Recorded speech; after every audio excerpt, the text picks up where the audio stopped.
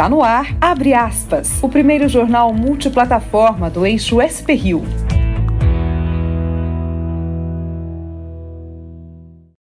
Olá, bom dia. Começa agora o jornal Abre aspas, o primeiro jornal multiplataforma do eixo Rio-São Paulo. Estamos ao vivo, em transmissão simultânea, no Facebook da SP Rio Mais e do jornal O Vale. Eu sou Zé Guilherme Ferreira e comigo aqui no estúdio está o Guilhermo Codazzi, editor-chefe do jornal O Vale. Bom dia, Guilherme. Bom dia, Zé. Bom dia, ouvintes. Bom dia, espectadores. Boa semana para todos. Hoje é segunda-feira, dia 3 de setembro de 2018. E nos destaques dessa edição você confere. Que tristeza!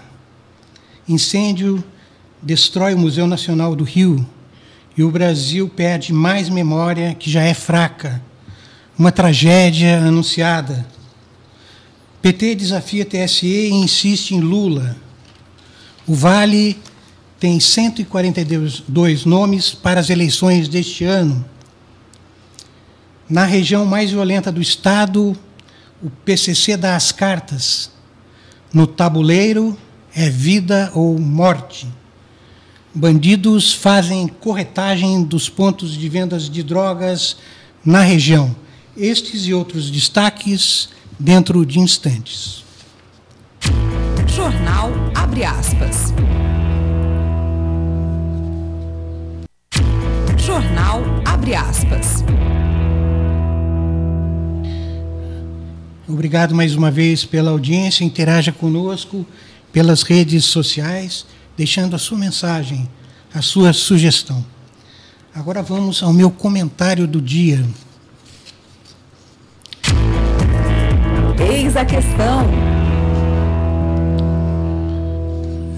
A história do Brasil se contorceu nas chamas que destruíram ontem o Museu Nacional da Quinta da Boa Vista, na zona norte do Rio.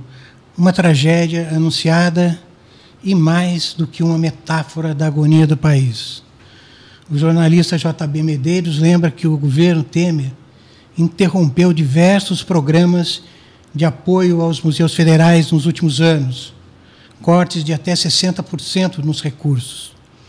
O presidente do Instituto Brasileiro de Museus, o IBRAM, o Marcelo Araújo, tinha pedido demissão na semana passada diante da penúria e das mãos atadas.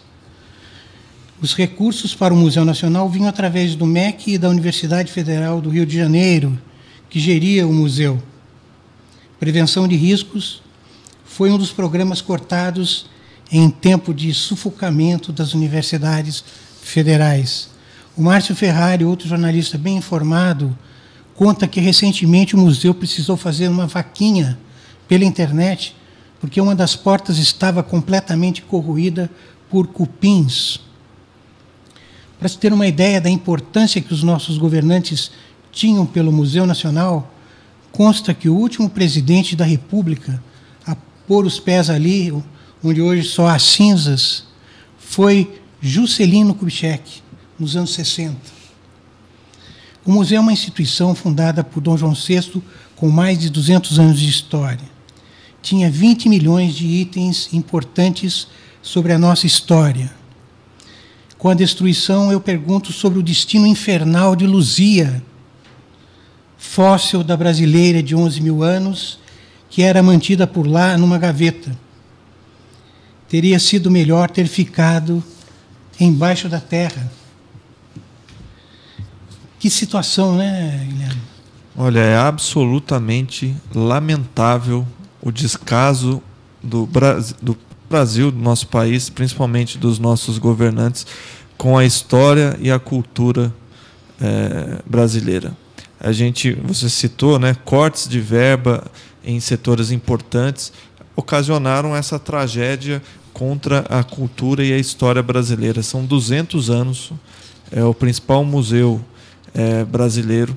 São itens de importância mundial, como o caso da Luzia e tantos outros, o acervo é, de arqueologia egípcia, e tudo isso virou pó é, diante do descaso do poder público brasileiro com a história do nosso país.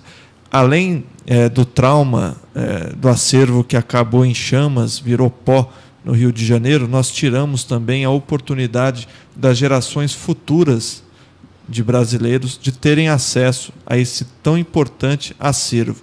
E eu vou um pouco mais longe. É, esse descaso com o patrimônio cultural brasileiro, ele não é, é restrito a um ou outro museu, ele é generalizado. Nós temos aqui, por exemplo, na nossa região, é, museus que estão abandonados. Em Taubaté, que é a cidade onde eu nasci, a gente tem a Capela do Pilar, que é um patrimônio tombado, patrimônio histórico, é, construído no século XVIII, é, de taipa, é, construído pelos bandeirantes. É um, é um, um imóvel único, rico arquitetonicamente, e ele é absolutamente abandonado. Ele chegou a ser ocupado por usuários de crack na região central de Taubaté. Após reportagens do jornal é, o Condefat é, obrigou que aquilo fosse reformado e estavam reformando as paredes de taipa com cimento. E Completamente IFAM, fora do padrão, né? E o IFAM e o Condefat determinaram interrupção daquela, daquela atrocidade e até hoje está abandonado, assim como os outros tantos pontos históricos e de importância cultural do nosso país. É Não lamentável. Adianta, é, é, o, as autoridades vão dizer, ah, que pena, né? É só isso que eles vão falar. Mas eu acho que é interessante é, a gente mostrar, como você fez muito bem é, no seu editorial, a consequência prática de alguns cortes de gastos. Então você deixa de investir na prevenção, esse é o resultado.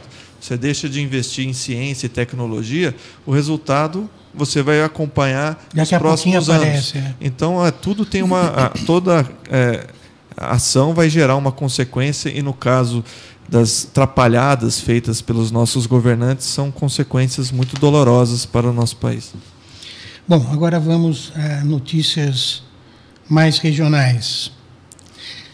Vende-se, alugam-se, arrendam-se pontos de drogas na região.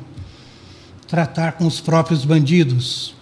É Esse é o tema do mais recente documento do jornal O Vale, sobre o qual vamos conversar aqui com o Guilherme Podazzi. Mas antes eu peço licença para a gente assistir, assistir a um pequeno trecho.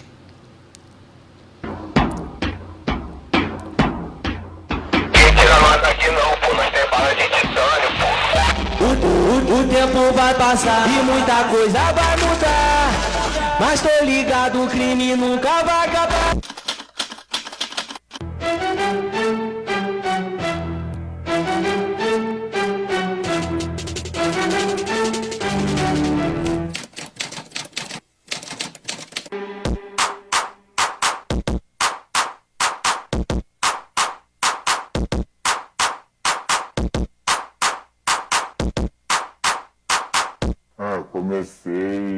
Tinha já antes, uns 17, 16 para 17 anos.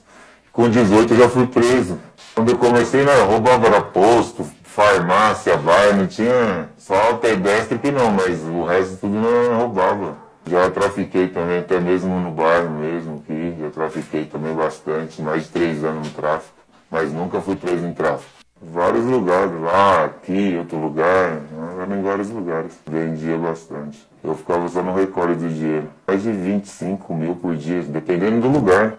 Tinha lugar que era bem mais. Não, o horário ainda, biqueira, falando uma biqueira inteira. Os dois vapor, os campana, que é uns três campana, e o dono do horário. Como se fosse o gerente, entre aspas. Você tem hora para entrar, né? mais ou menos, os dias, né? Vai alternando, né? Para dificultar até o pessoal, né? Ser pego, você alterna. Um, por exemplo, uma pessoa trabalha hoje, volta daqui a quatro dias, cinco, né? Para não ficar todo dia, né? Quando eles têm gente disponível, né? É, então, teve gente aí que alugou, né? Ou vendeu. É, eu conheço gente aí que pegou aí terreno, troca, carro. Pois é, Guilherme. Queria saber de você como foi fazer esse mapeamento do mercado imobiliário, né, dos pontos de venda de droga na região. Como que a coisa funciona? É, literalmente está dominado, viu? Porque esses pontos de droga geralmente funcionam em locais públicos. Então existe uma simbologia muito grande de locais públicos estarem ocupados pelo tráfico de drogas e além disso eles serem comercializados por esses criminosos. Então é exatamente isso mesmo. Esses pontos que são chamados por eles de biqueiras ou lojas, eles funcionam em praças, vielas, esquinas e são alugados, são é, vendidos e são arrendados por, pelo crime organizado. Nós temos, por exemplo, na região da Santa Cruz, que conheci, é reconhecido que ela foi, após a prisão, no, no início do, da década passada, de um traficante conhecido, o Sergião, acabou sendo arrendada pelo primeiro comando da capital. Então, realmente, essas, esses pontos são cadastrados pelo crime organizado, inclusive os pontos ativos e inativos. Então, vou te dar um exemplo é, após o batismo de algum criminoso no PCC, o PCC pode recomendar que ele ocupe um dos pontos inativos e comece ali a fazer o mercado de entorpecentes. Então, realmente é assustador você saber que esses pontos, que, em geral, repito, estão em espaços públicos, eles realmente são comercializados como se fossem imóveis e acabam é, tendo um movimento, o valor varia de acordo com o movimento daquela área, com a, por exemplo, mais próximo de unidades esco escolares, o preço é mais, mais caro, é, mais próximo de bares. Então, existe realmente um mercado clandestino que acontece aí às vistas da sociedade. Muito bom. A gente lembrando que o documento está disponível nas, nas páginas do Facebook, né, do jornal Vale, né? Guilherme, aproveitando a deixa das drogas, que eu queria falar um pouco com você sobre o PCC. Né? O jornal Vale tratou do assunto na semana passada, quando o primeiro comando da capital completou 25 anos. É uma efeméride, né? Exatamente. É, e vi que você, que você assina a reportagem. Fala para a gente como anda o PCC na nossa região. Eu queria também sair um pouco dos bastidores dessa reportagem, se você puder falar. É, a gente publicou aí no dia 31 de agosto o documento Vale Especial, é, o Estado Paralelo do PCC na região do Vale do Paraíba. Lembrando que o Vale é o berço da facção criminosa, é, hoje a principal facção criminosa do Brasil, e que foi criada é, na Casa de Custódias de Taubaté, à época apelidada pelos criminosos como Fábrica de Monstros o principal monstro que ela fabricou foi justamente o primeiro comando da capital. Hoje, é, além do domínio no tráfico de drogas e no crime organizado em São Paulo, o PCC já está dominando mais oito estados brasileiros e disputando a liderança no, no narcotráfico aí em mais 21, ah, mais 13, perdão, totalizando 21 estados com sua presença além do exterior. Então, a gente mostrou é, nessa reportagem, nessa grande reportagem, é, como funciona o tribunal do PCC, como está é, organizado o PCC nesta área que é conhecida como Sintonia 12, ou Sintonia 2, 2 que é o Vale do Paraíba. O PCC, em seu organograma, ele é dividido por departamentos, cada departamento é conhecido como sintonia, todas respondem à sintonia final que é a cúpula do, do que eles chamam de partido, entre aspas. É, a reportagem ela foi feita com base em depoimentos de agentes que estão na linha de frente do, do combate ao crime organizado, também a presos, é, ex-presos, pessoas ligadas ao tráfico de drogas, que acabaram realmente traçando uma radiografia bem completa de como opera essa facção criminosa. A gente tem, por exemplo, a questão do tribunal, a gente traz um caso específico que demonstra toda a, a, violência que está inserida nesse império criminoso que o PCC exerce aqui na nossa região e em outras áreas do país. A gente teve um caso de um, um adolescente do Parque Meia Lua, em Jacareí, que tinha participado de um homicídio a vítima desse homicídio era irmã de um membro do PCC. Então, esse adolescente foi sequestrado no Parque Meia Lua, mantido é, em cativeiro na região de Taubaté, na região do Esplanada Santa Terezinha, foi julgado pelo primeiro comando da capital, condenado à morte. E, além da condenação à morte, como envolvia a vítima desse homicídio anterior era ligada a um membro do partido do, do crime, a condenação ainda impôs que esse adolescente tinha que ser morto por um parente dele. Então, alguns dias levou-se alguns dias até encontrar um parente que foi levado até lá e obrigado requintes e perversidade. Né? E obrigado a executar ou como eles chamam, ele estava decretado e acabaram assassinando esse adolescente que foi desovado em uma região rural de Tremembé.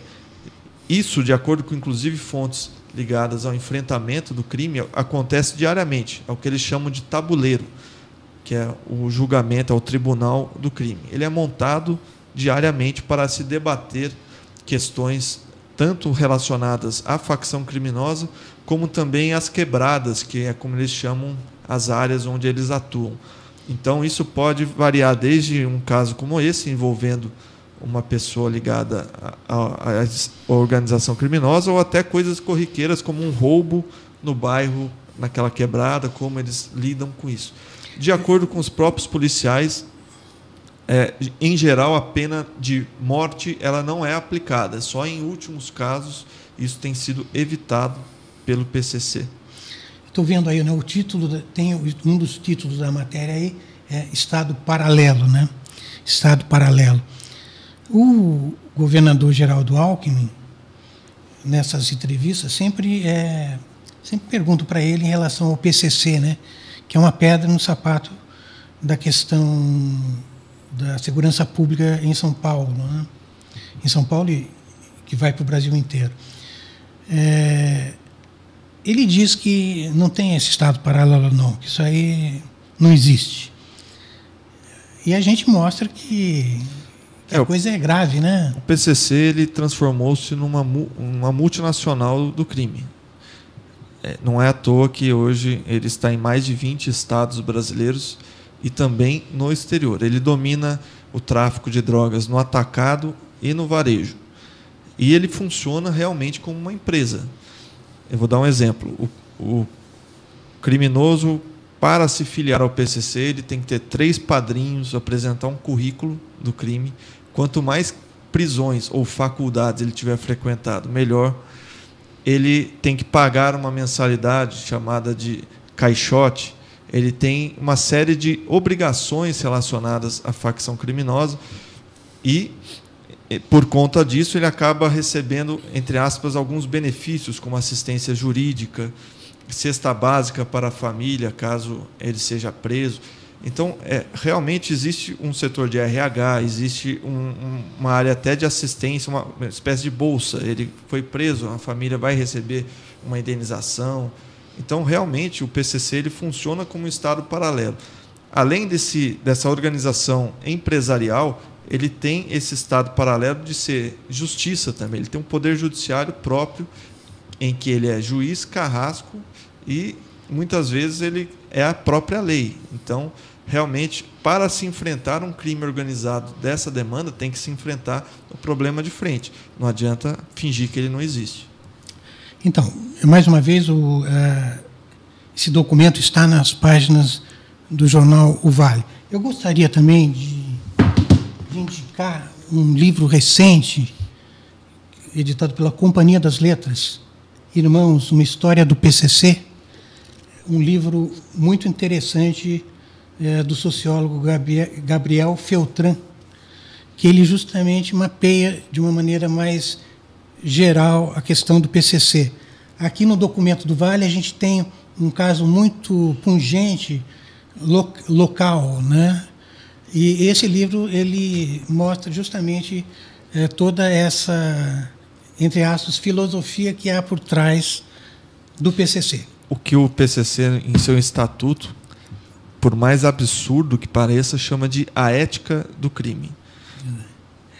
Muito bem, nós vamos para o intervalo e já já a gente volta. Jornal Abre Aspas.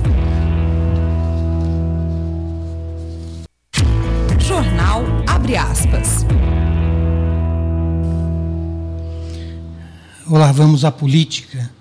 A semana começa sob o peso da decisão do TSE, o Tribunal Superior Eleitoral, que tirou o ex-presidente Lula da campanha presidencial em decisão na madrugada de sábado. Né? O PT ainda não indicou oficialmente o substituto de Lula, esticando mais uma vez a corda. Fernando Haddad, entretanto, já está em plena campanha. Até usou o chapéu de cangaceiro na sua simbólica passagem por Garanhuns, em Pernambuco, terra de Lula. E por lá abraçou também Renan Calheiros, numa missão é, constrangedora, nada confortável. O ex-presidente, entretanto, continua na campanha e, por causa disso, a oposição protocolou ontem no TSE três ações contra propagandas eleitorais da chapa petista.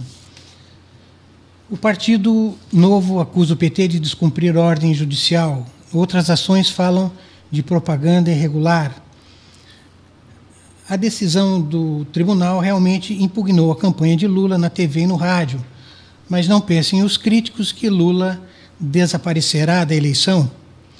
O ex-ministro Eugênio Aragão, advogado do PT, disse que o partido já prepara sua defesa e, afinal, Lula pode sim aparecer em 25% de uma propaganda, minutos destinados aos chamados apoiadores. Bom, seis dos 21 vereadores de São José dos Campos disputarão cargos nas eleições deste ano para a Assembleia Legislativa e para a Câmara dos Deputados. A região metropolitana do Vale tem 142 candidatos. Lembrando que Juliana Paiva, do PT, desistiu de concorrer. Pois hoje o jornal Abre Aspas inicia uma série de entrevistas com os candidatos a deputados estaduais e federais da nossa região. Foram convidados todos aqueles que tiveram seus registros no TSE. De forma democrática, todo candidato que aqui estiver terá 20 minutos de entrevista para expor suas propostas ao eleitor. No final da entrevista, será concedido mais um minuto para que o candidato possa fazer suas considerações finais. Lembrando que você, ouvinte, pode participar dessa série de entrevistas mandando perguntas e dúvidas durante as, transmissões, usando os comentários das páginas do jornal O Vale e da SP Rio Mais. Participa comigo dessa entrevista do chefe do jornal Vale, Guilherme Codazzi. E hoje quem está aqui no estúdio é o El Babo, candidato a deputado federal pelo Partido Patriota. A partir de agora, seu tempo começa a contar. Bom dia, candidato. Bom dia, tudo bem? Agradeço aí o convite. Então, nós temos uma pergunta padrão aos candidatos para iniciar o bate-papo, que é a seguinte: Quais os motivos levaram o senhor a se candidatar? Verdade, a população está pedindo socorro, o Brasil está pedindo socorro, São José está pedindo socorro. E eu falei com muitas pessoas que poderiam estar aqui onde eu estou hoje, como candidato, e todos realmente estão. Tem muita gente que está com medo, fala assim, não vou arriscar. O Brasil virou um país do crime. Os criminosos estão comandando, desde o poder até nas ruas. Mas se ninguém fizer nada, ninguém ir para frente, a gente a tendência é piorar. Até agora mesmo, se fizeram uma reportagem de jornalismo, o PCC está comandando tudo, só falta colocar um RH e falar, contrate, a, a partir desse momento das mensagens que os senhores passaram também, esta semana eu acredito que com 10 mil vai entrar no PCC, porque o governo não tem emprego, a pessoa precisa trabalhar. Aí acontece, a última opção acaba por muitos, que até muitos que não têm educação, entrando no crime. E o crime está cada vez mais forte. Eu vejo isso diariamente, falo com as pessoas, as pessoas estão revoltadas, principalmente na internet. O ódio está tomando conta.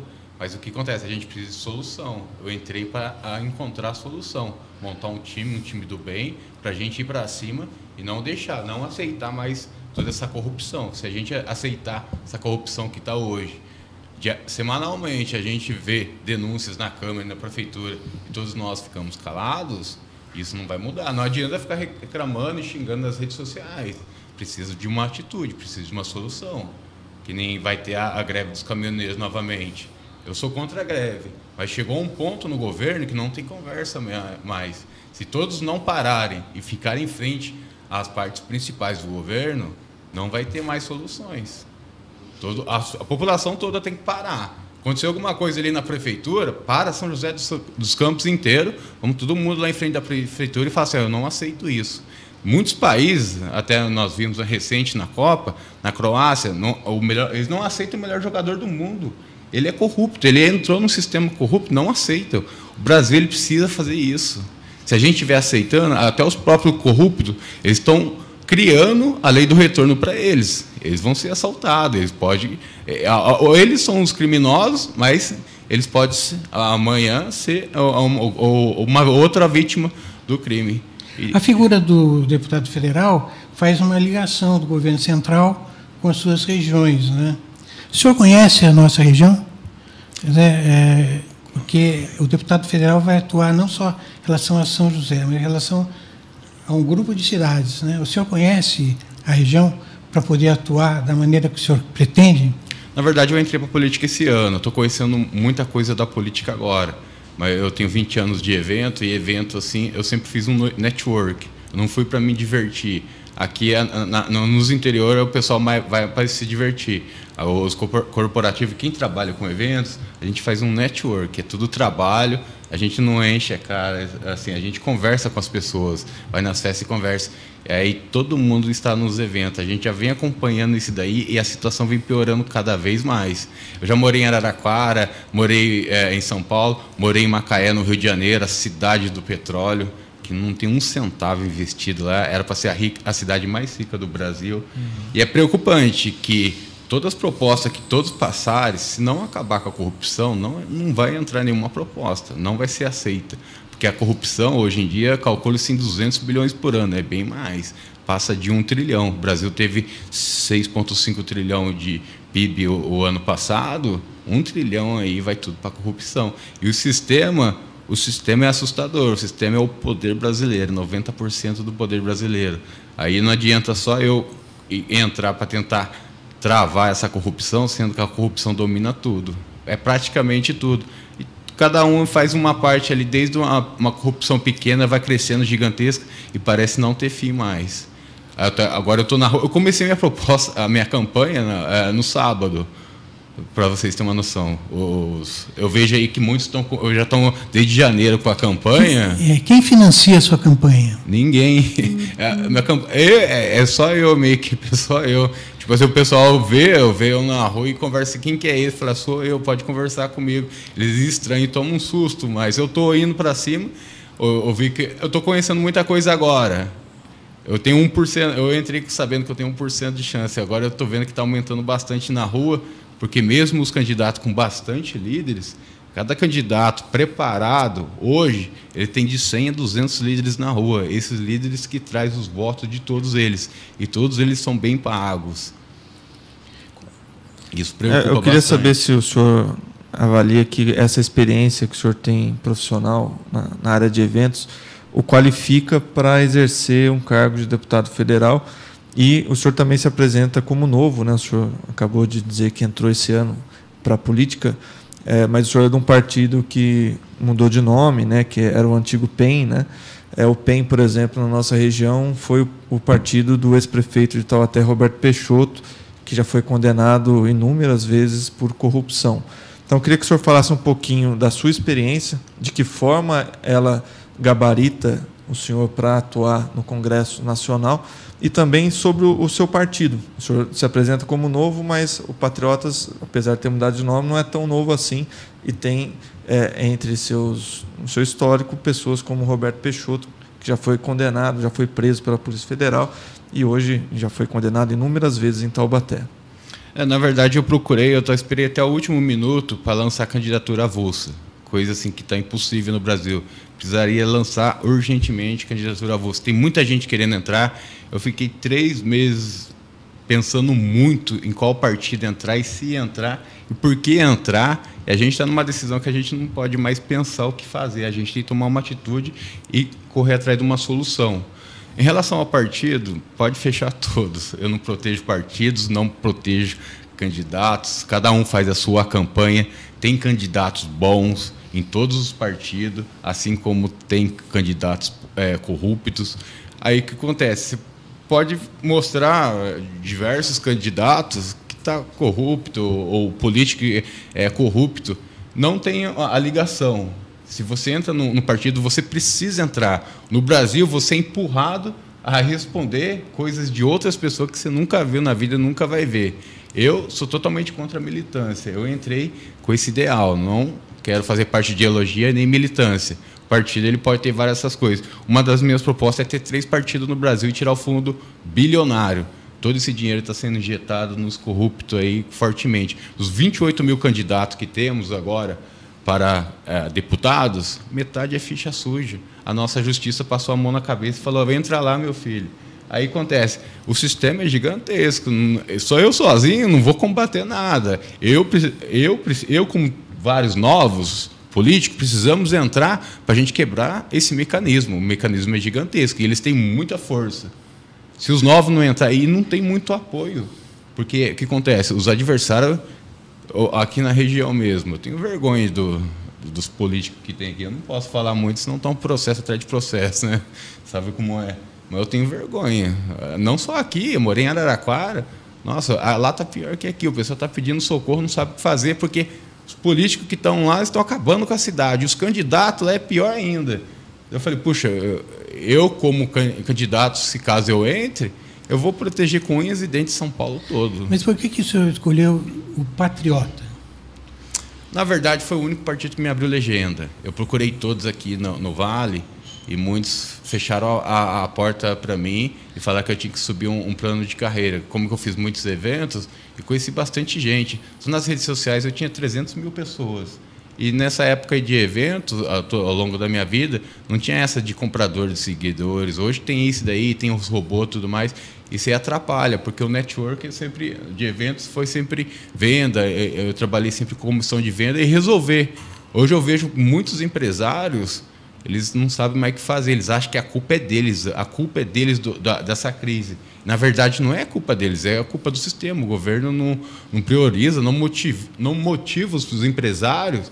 Tem muita gente indo embora, muita então, gente embora não, mesmo. não entrou por uma questão de plataforma, de ideologia, né? né? Ideologia. Todos os partidos. É, eu, é verdade. E eu entrei, eu já falei para os responsáveis do partido: eu não vou, vou proteger nada do partido, eu vou proteger o povo, que eu sempre fui da população, eu estou entre todas as classes e eu quero defender pelo menos os direitos. Eu estou indo atrás dos direitos básicos. O Brasil é um país que não tem o direito básico. Se você não tem o direito básico, que é educação, saúde, segurança e emprego, você vive num submundo. Só que a gente está aceitando isso. Até criminalidade, uma coisa muito forte. O rapazinho bebeu a noite toda ali na Bacabal e atropelou cinco e matou cinco, está solto. Nós não podemos aceitar isso. Essa pessoa tem que ser presa, no mínimo 50 anos de prisão.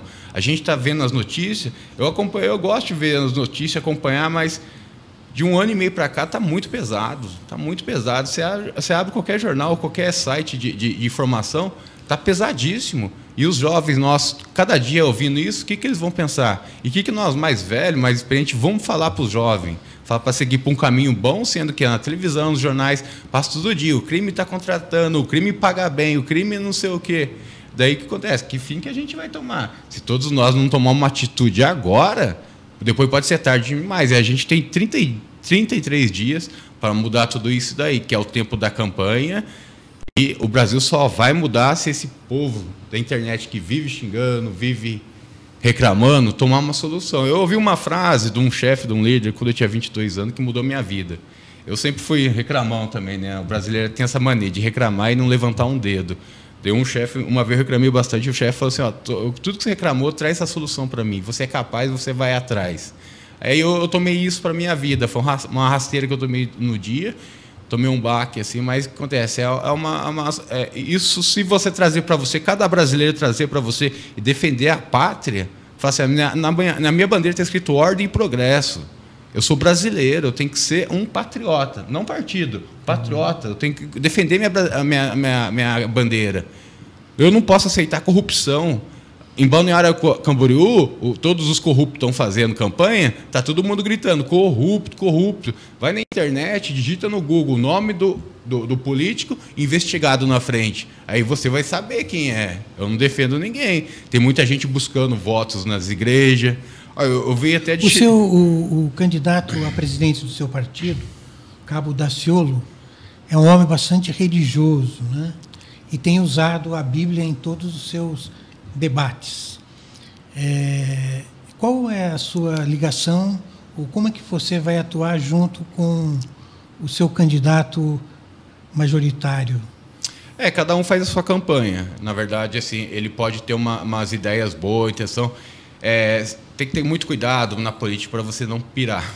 Na política, se você quiser mudar o mundo sozinho, você tem que entrar meio assim no público, que o, o público precisa ouvir e você não precisa, você não vai mudar o mundo sozinho. Você tem que aos poucos conversando com as pessoas. Que nem do crime, se não vai ficar, ficar falando do PCC, meu, todo mundo vai entrar em pânico, que é uma coisa assim que já está alastrada. Em relação aos evangélicos, aos eu sou cristão, mas eu não frequento igreja. Eu acredito em Deus. Eu faço a minha parte. Eu acho que até ontem mesmo eu vi uma cena na igreja eu, eu, tinha acabado de conversar, eu fiquei uma hora e meia conversando com o pipoqueiro. Eu converso com todo mundo na rua. O pessoal pergunta, mas você é o candidato? Eu falei, sou eu, sou o candidato. Você está acostumado aí que eles vêm aqui de terno, carro blindado, cheio de segurança, e só vem aqui e fala oi, oi, tira uma foto e vai embora e filma? Eu faço bastante coisa, mas não tiro foto. Mas o que acontece? Eu pretendo falar com o máximo de pessoas. Esse final de semana eu falei com 15 mil pessoas. Aí acontece, eu estou preparando aí para montar um time. Não, não, eu não preciso vencer, mas a mensagem que eu passar para todos é para se despertar. Não fique parado, vamos atrás de soluções. Agora, do caso da, da Ciola, ele é um muito bom candidato. Ele, para mim, ele começou a campanha um pouco tarde também. E, no entanto, assim, é, é, é precisava de uma assessoria Mas bem bacana ali. Eu é, acho que ele poderia ganhar a próxima. Ele, ele falou, ele ficou conhecido por aquela polêmica da Ursal e outras ideias. O senhor corrobora com essas, essas propostas, essas, é, essa ideologia que ele prega? Sim, é, na verdade, assim, boa parte aqui da. Eu, eu peguei o que acontece. Esquerda, direita e centro, peguei minhas propostas, peguei minhas propostas baseadas nos Estados Unidos. Eu sou a favor do modelo Estados Unidos no Brasil urgente. Por mim, o Trump podia vir aqui invadir o Brasil, que ninguém aguenta mais. Se ninguém tem solução, o Trump tem. Está batendo recorde de emprego lá, não tem o que reclamar nos Estados Unidos. Eu vejo as mídias assim, as mídias nacionais, todo o tempo falando mal do Trump. É o rapaz, é o político que abriu a porta do mundo. Essa coisa de invasão do Trump é retórica, né? É retórica sua, né? Está dando um exemplo só, né? É, eu estou dando um exemplo, mas por mim ele podia invadir, é, é, invadir assim, entre aspas, que nem assim a Venezuela. A Venezuela está pedindo socorro, cadê a ONU, cadê os países, cadê os poderes para salvar ali? A gente vai esperar que o Brasil vire uma Venezuela? Well, Brasil... eu, eu vi aqui nas suas redes sociais, quando você teve sua candidatura registrada, que você falou que foram nove meses de trabalho, que não tinha conseguido registrar a candidatura no Vale do Paraíba e conseguiu na capital, é isso? Isso. É, nem no seu partido você conseguiu vaga? Na verdade, aqui? São Paulo. Só em São Paulo? Não, o partido é de São Paulo. Ah, tá. o, o, coordenador, que é o Valdeci, eu agradeço muito o Valdeci, que existe pessoas boas assim na política. Ele, se não fosse ele, eu não tinha entrado. Que, vamos supor assim, o PCL, a maior parte dos partidos. Aqui eu só eu tenho uns partidos locais, não vou citar nome, mas esses partidos você não entra, já tem mas as pessoas. Você tentou em outros partidos daqui. Eu falei com todos. Tem Mas partido você que nem, acha nem me respondeu. Que não é importante o candidato também ter uma ideologia política? Por é- exemplo, é... você procurou todos os partidos e acabou, é, desculpe se foi, se eu estou analisando errado, mas foi o único que no final te deu uma brecha, foi o, o Patriotas. É, você não acha que também você fala, por exemplo, de ter três partidos no país que eu acho que seria então você transformar os partidos realmente em partidos que têm uma ideologia forte, que representem um tipo de, é, de pensamento político. No caso, você procurou todos os partidos. Você não acha que há uma incongruência, uma contradição nisso?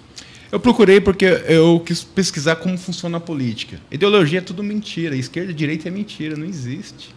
Tô meio incorporando o Daciolo. Mas é verdade, o Daciolo fala muita verdade. E ele, e ele, é, é ele, é, muita é gente toma um, a ideologia um política ela vai muito além do esquerda e direita. É mentira, o pessoal é pago e não, o pessoal não, ganha eu, bem. O que eu estou dizendo assim, ideologia política, ela não é só fulano é de direita, é de esquerda, é de centro. É a questão de como aquele partido, aquele conjunto de pessoas enxerga as prioridades daquele país. Se é mais na área social, por exemplo, ah, ou se não, se é mais liberal. Então, assim, a ideologia é muito mais ampla do que simplesmente é, ser de esquerda, direita, centro. Eu queria só saber ah, se entendo. você não acha que é um pouco contraditório você ter procurado todos os partidos, não ter encontrado é, um espaço neles e ter ido patriotas e ao mesmo tempo defender esses três partidos então, é, na verdade, eu procurei todos os partidos para saber como funciona. Eu queria saber da boca de cada um e os representantes. Daqui eu não consegui legenda, em São Paulo eu consegui todos. Todos que eu, eu poderia escolher lá, eu escolhi o Patriotas porque eles seguem. É o, o, partido que menos corrupto ou não corrupto, não posso falar muito de partido, que eu sou de um partido, mas acontece só a favor de três partidos para definir. Essa ideologia não existe. Quais seriam, militância quais é seriam esses três partidos? Direita, esquerda e centro, ou como é funcionado, como é, como Mas, existe nos é, Estados você Unidos. Disse que isso é mentira, que esquerda, direita. É mentira no Brasil. Nos Estados Unidos o pessoal defende a bandeira. Mas acontece, a gente vive num submundo, a gente não tem nem o básico, a gente vai lutar por ideologia, a gente vai lutar por direito, sendo que a gente não tem direito. Não está não tá tendo nem emprego, tem 40 mil pessoas desempregadas, o pessoal está indo para o crime que não tem emprego, está desesperado. A gente vai ficar brigando por ideologia até quando? Aqui, que nem assim, eu, conheço, eu trabalhei muito tempo com moda e trabalho ainda hoje. A, a, a, a, a comunidade LGTB está sofrendo muito preconceito. Tem que ter punição severa, pune. Que nem um rapazinho, você viu, foi espancado. 15 anos de cadeia, pega o rapaz que espancou, 15 anos de cadeia. Eu quero ver quem, vai, quem que vai ser o próximo a bater. Se não tiver punição severa, não adianta. Que nem assim, na política. Muita, eu vejo reportagem dizendo todo o povo tem que fiscalizar político. O povo não é obrigado a fiscalizar o político, existe o um ministério. Mas o ministério não está dando conta, que é muito, muita denúncia, muita coisa errada. E quando prende, a justiça solta. O STF, nossa, é uma vergonha. A gente na, não pode aceitar tudo na isso. Área, na área social, né? a gente falou bastante de segurança. O senhor tem algum. Qual o seu pensamento em relação aos programas é, sociais de apoio é, aos menos favorecidos. Hein? Então, na verdade, a, a, todas as causas sociais caem na parte da saúde, que está abandonada. Tudo, a boa parte está indo para a corrupção e a gente precisa de fiscalização e punição, porque está todo vapor, o pessoal está roubando todo vapor. Mas é, o senhor é a, a favor, por exemplo, de programas de transferência de renda com o Bolsa Família? acredito que tenha sido essa a pergunta do no, José Guilherme. No, no, entanto, sim, no começo sim. Mas precisamos criar oportunidades. Até quando vamos ficar com o Bolsa Família? Precisamos de oportunidades e educação. Precisamos de oportunidade, precisamos de empregos, precisamos de bons salários. Não adianta a pessoa conseguir um emprego e ter que ficar pagando conta o resto da vida. Eu vejo muito o modelo dos Estados Unidos da Europa. Quem tá, uh, em muitos países, uh, eu tenho vários amigos no Canadá, se você ficar desempregado e for um canadense, o governo te paga um, um, valor, um salário que é bom, e fala assim: ah, a gente não quer que você fique desempregado. E a pessoa que recebe, ela fala assim: eu não quero ficar desempregado, eu quero um trabalho. É questão de um ou dois dias, já arruma o trabalho. Se ela quer mais, ela vai lá e arruma outro trabalho. Ela arruma dois, três trabalhos, arruma trabalhos paralelos e cresce na vida profissionalmente e compra o que desejar. As coisas é bem barata lá fora. E quando chega no Brasil é um absurdo. Numa dessa eu pretendo, se caso eu entre, isentar os impostos dos produtos internacionais, que é o que acontece no Paraguai. O Paraguai está tomando todas as empresas do Brasil que lá os impostos são bem baixos e o governo favorece as empresas. Favorecendo muito, as empresas, favorece muito, os empregos. Muito bem, Babo. Nosso tempo terminou. Você tem mais um minuto aí para suas Considerações finais. Tá, eu agradeço muito por estar participando aqui. A neutralidade do jornal e do SP Rio, que eu vejo que muitos aqui tem, são partidários. E, a, o, o, recado que eu dou para toda, toda a população que se desperte. A hora da mudança é agora. Temos 33 dias para mudar esse Brasil. Temos 33 dias para mudar São José dos Campos. E as coisas não vão se mudar se todo o povo não se despertar agora. É difícil, o sistema é gigantesco. Eu estou aqui porque eu quero resolver, eu quero solucionar, quero trazer a solução para todos aí do Vale e São Paulo. É o maior desafio da minha vida e eu tenho esperança que eu vou fazer novamente esse povo sorrir. Eu vou atrás, vou buscar e estou com toda a força. Obrigado, Elbabo, né? Lembrando que amanhã o convidado será Levi Oliveira, candidato a deputado estadual pelo Democrata Cristão. Nós vamos para um rápido intervalo. Não saia daí. Jornal Abre Aspas. Jornal Abre Aspas.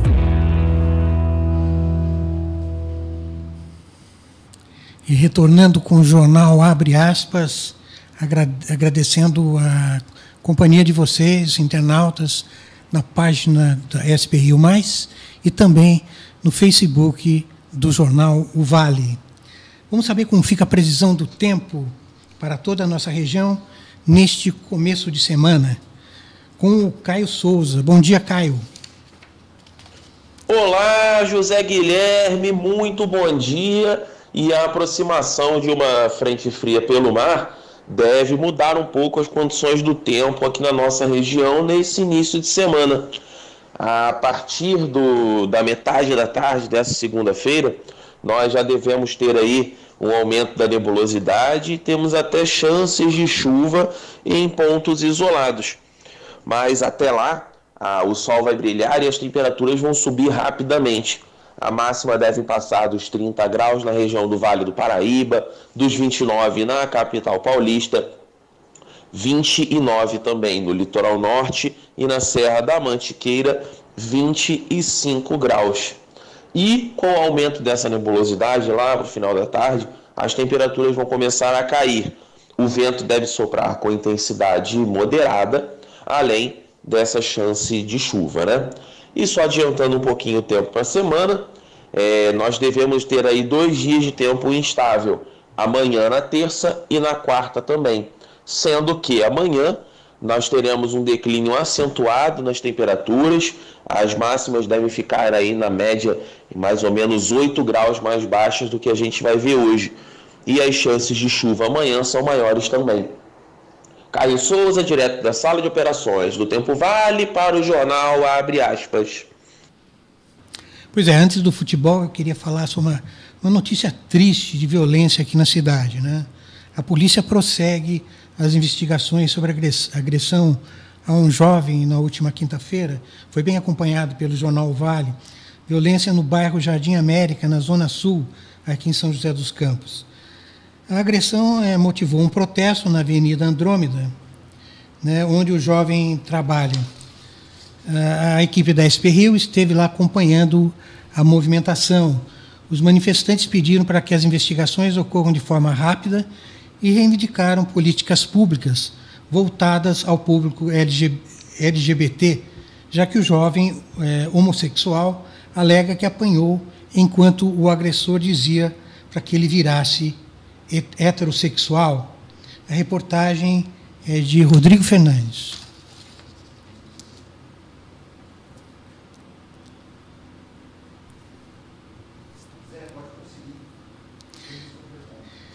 Bom, o, Rodrigo, o Rodrigo teve lá na, nessa manifestação, onde as lideranças dos movimentos LGBT é, reivindicaram justamente é, rigor e rapidez nessa apuração. Né?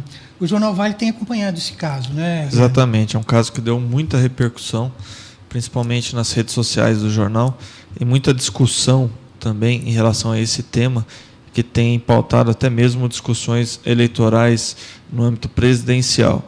Eu acredito que realmente é preciso que o caso seja apurado com rigor, rapidez e que sejam sim criadas políticas para proteção é, do público LGBT. Agora, é preciso investigar o caso, esclarecer exatamente o que aconteceu.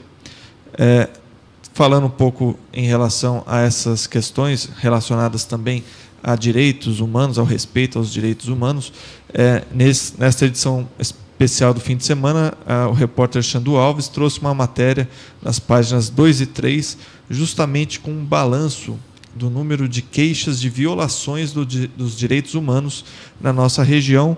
Os dados são do Disque 100 do governo federal, são os dados mais atuais, um relatório divulgado na última semana referente ao, ao ano de 2017. E nós tivemos 3.314 queixas de violações dos direitos humanos apenas no ano passado. E as principais vítimas são as crianças e adolescentes. Então, nós temos aí, a cada 24 horas, duas denúncias de violações dos direitos de crianças e adolescentes na nossa região. Então, direitos humanos têm que ser sim respeitados. Você acompanha essa matéria no nosso site, é bem importante e bem esclarecedora também. Bom, agora é a hora do esporte. Nós vamos saber como foi a rodada do final de semana, com muitos jogos movimentando o Campeonato Brasileiro. Vamos lá, bom dia, Will. Olá, Rodrigo, muito bom dia. Bom dia a todos que acompanham o Abre Aspas da SP Rio Mais. Campeonato Brasileiro teve a sua 22ª rodada no final de semana, com Vitória fazendo 1 a 0 no América, o Grêmio goleando o Botafogo 4 a 0, o Vasco perdendo em casa para o Santos 3 a 0 com três gols de Gabigol, que passou a ser o artilheiro ao lado de Pedro do Fluminense com 10 gols no campeonato. O Corinthians empatou com o Atlético Mineiro em 0 a 0. O Flamengo decepcionou seu torcedor no Maracanã perdendo para o Ceará 1 a 0. O Atlético Paranaense fez 2 a 0 no Bahia. O São Paulo empatou com o Fluminense em 1 a 1 com expulsão de Diego Souza, com gol contra e uma série de confusões aí dentro da partida. O esporte fez 1 a 0 no Paraná. O Cruzeiro empatou em casa com o Internacional 0 a 0 e o Palmeiras foi a Chapecó e venceu a equipe da casa a Chapecoense por 2 a 1 e volta a brigar pelo título brasileiro. A liderança tem o São Paulo com 46 o Inter é o segundo com 43, o Flamengo é o terceiro com 41, Grêmio e Palmeiras estão na quarta colocação, o Grêmio leva vantagem nos critérios, tem 40 pontos, Galo 35, Atlético Mineiro, né, o, o, Galo 35 pontos, o Corinthians em oitavo com 30, o Santos em décimo com 27 pontos. Na zona do rebaixamento estão, neste momento, Esporte com 23, Chapecoense com 21, Ceará com 20 e o Paraná com 15. Uh, eh, na artilharia do Brasileirão, Pedro do Fluminense e Gabigol, o Gabriel Santos do Santos, é, com 10 aí, são os dois artilheiros da competição até aqui. No Mundial de Fórmula 1, Grande Prêmio da Itália, circuito de Monza. Neste final de semana, aconteceu a 14 etapa da competição. O inglês Lewis Hamilton venceu a prova e continua liderando com vantagens aí sobre Sebastian Vettel. A prova terminou da seguinte maneira: Lewis Hamilton em primeiro, Kimi Raikkonen em segundo, Valtteri Bottas em terceiro e o Sebastian Vettel na quarta colocação fora do pódio. No Mundial de Pilotos, Lewis Hamilton lidera com 256 pontos. Em segundo está Sebastian Vettel, 226. Na terceira colocação, Kimi Raikkonen com 164 pontos. No Mundial de Construtores, a Mercedes lidera com 415 pontos, a Ferrari vem em seguida com 390 e na terceira colocação a RBR com 248 pontos. A 15ª etapa do Mundial de Fórmula 1 acontecerá no Grande Prêmio de Singapura no próximo dia 16 de setembro no circuito Marina Bay, lá na Malásia. Saindo da Fórmula 1 e voltando para o futebol, a seleção brasileira se apresenta, já está se apresentando lá nos Estados Unidos, com 18 dos 23 jogadores. 12 não foram para a Copa do Mundo lá na Rússia. O primeiro treino deve acontecer hoje, às 18 horas, na Red Bull Arena, com 18 jogadores à disposição do técnico Tite. Felipe Coutinho, Arthur, Felipe é, do Porto, que já atuou na região do Alto Tietê, na equipe do União e também jogou no Corinthians, foi campeão do mundo com o Corinthians, é, e Éder Militão, é, que agora também está no Porto, o lateral que foi convocado para o lugar do Fagner, que se contundiu, e Dedé não se apresentam hoje, apenas amanhã. Alisson, Hugo e Neto foram aí os goleiros convocados por Tite. Alexandro, Militão, Felipe Luiz e Fabinho, os laterais. Ah, os zagueiros, Thiago Silva, Marquinhos, Dedé e Felipe. No meio, Casemiro, Fred, Arthur, Lucas Paquetá, Anderson Ferreira, ou Pereira, perdão, Coutinho, William e Neymar. E na frente, Richarlison, Everton, Douglas Costa e Roberto Firmino. Para a gente encerrar a participação, Rodrigo, o futsal brasileiro é campeão do mundo mais uma vez. Falcão, aos 41 anos, conquista o bicampeonato com a equipe de Sorocaba, ao bater a equipe do Carlos Barbosa numa final brasileira no Mundial da Tailândia neste final de semana. Sorocaba 2, Carlos Barbosa 0 e Falcão conquista mais um título na sua interminável carreira de melhor jogador da história do futsal. Um grande abraço. Amanhã a gente vai falar aí da Série B do Campeonato Brasileiro. Vamos também destacar o tênis, o S Open, entre outras modalidades esportivas. Lembrando que neste final de semana acontece aí mais uma etapa do Mundial de Surf que tem dois brasileiros na liderança, o Felipe Toledo e o Gabriel Medina. E a nota triste de hoje, aí saindo, fugindo do mundo do esporte, e, e fica por conta da tragédia cultural no Rio de Janeiro com o incêndio lá no Museu Nacional. Tristeza pura no coração e na alma de um dos maiores acervos da história desse país. Infelizmente, nós não temos o mesmo apreço que temos aí pelo futebol e por tantas outras coisas para com a arte, para com a cultura do nosso país. Fica aí o pesar por tudo o que aconteceu lá no Museu Nacional no Rio de Janeiro. Bem, Rodrigo, esporte volta amanhã no Abre Aspas. Um grande abraço. Obrigado, Ailton. O Ailton volta, volta amanhã. Muito bem, é, nós tivemos um problema técnico com a reportagem do Rodrigo Fernandes, mas você pode assisti-la é, no Facebook da SP Rio. O abre aspas vai ficando por aqui. Eu quero agradecer a sua audiência, você que nos acompanhou pelo Facebook da SP Rio e do jornal O Vale. Lembrando que o abre aspas fica na íntegra, nas duas páginas. Obrigado, Guilherme. Obrigado, Zé. Obrigado a todos os espectadores. Uma ótima semana para você. Ótima semana para você e para todos que estão nos assistindo. E amanhã, o titular, o Rodrigo, está de volta. Até. Até, obrigado.